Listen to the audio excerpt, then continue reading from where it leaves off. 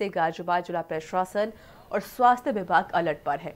जिलाधिकारी अजय शंकर पांडे ने सीएमओ को निर्देश दिए हैं कि अस्पतालों में अलग से काउंटर बनाए जाए, जिससे कि लोगों को जागरूक किया जा सके।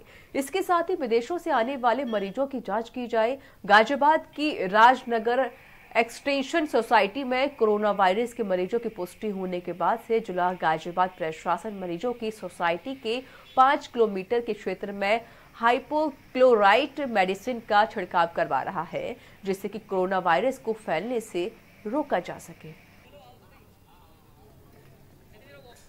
देखिए कोरोना वायरस को लेकर के जिला प्रशासन और जो हमारी पूरी चिकित्सा विभाग की टीम है, पूरी संवेदनशीलता और पूरी सतर्कता बरत रही है।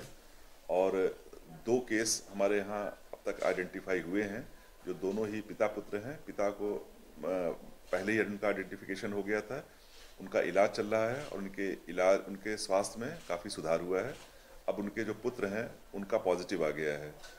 तो जिस एरिया में ये लोग रहते हैं, वहाँ दो तीन दो तीन कार्रवाई हो रही कि जिस इसमें सोसाइटी में रहते थे, उसका फुल कंटेनमेंट कराया जा रहा है।